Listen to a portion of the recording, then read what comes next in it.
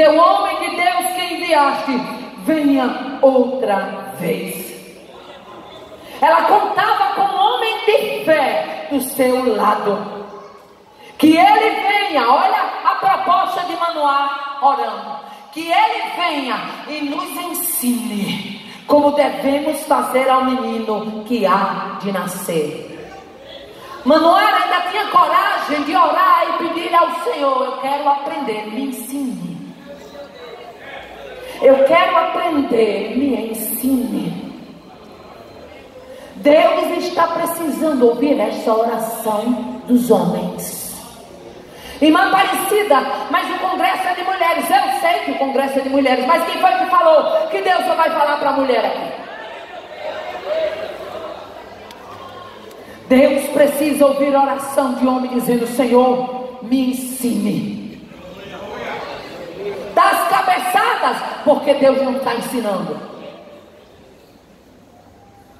Passa o pé pela mão, porque não está orando, pedindo a direção de Deus. Toma decisões precipitadas. Nesta noite, é noite de se voltar para o altar e dizer: Senhor, me ensine. Manuel disse: Eu quero que o anjo que tu enviastes venha outra vez e ele ensine, nos ensine o modo de viver do menino que há de nascer.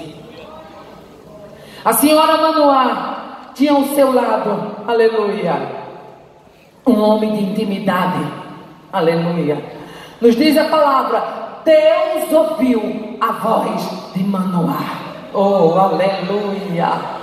Deus ouviu a voz de Manoá. Oh, aleluia! Um homem de fé, porque ele disse: Eu quero, veja só. Até então, Manoá só sabia de uma promessa.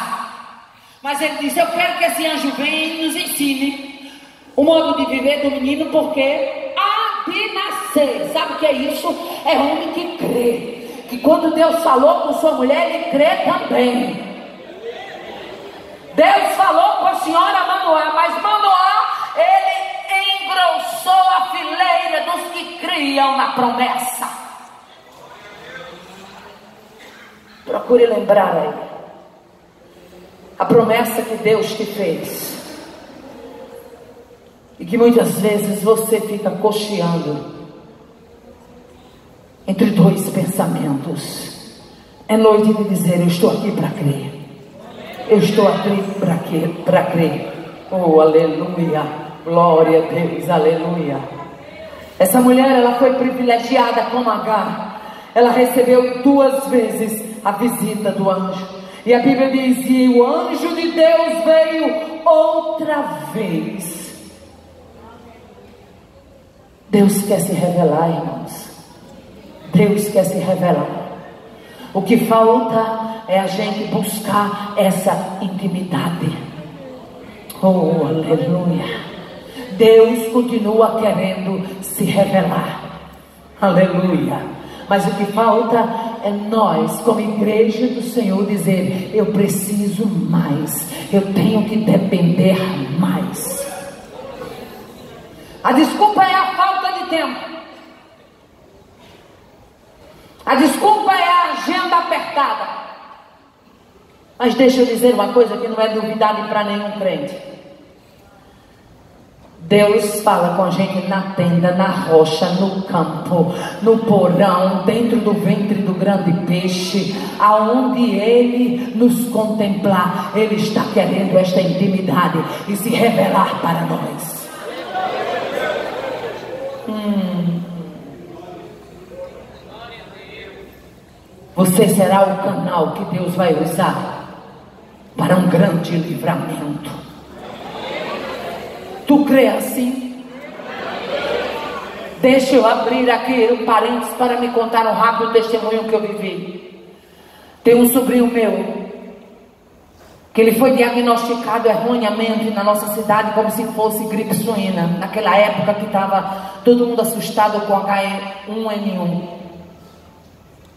E ele foi diagnosticado como se fosse gripe suína, mas era apenas uma pneumonia. Ele foi medicado e ele teve, ele foi automaticamente o quadro piorou e ele teve que ir para UTI.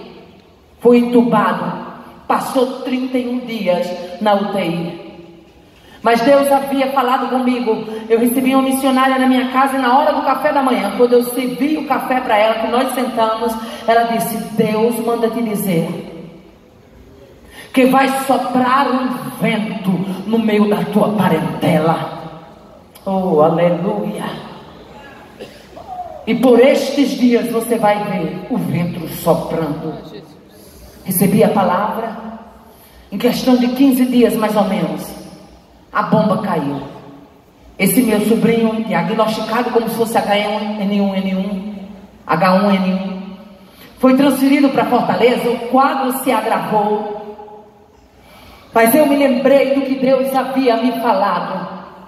E no dia da transferência dele, no aeroporto de Mossoró, o, o, o, o helicóptero da UTI da Unimed veio para recambiar ele para Mossoró, porque ele estava totalmente monitorado por aparelho e era uma transferência de alto risco.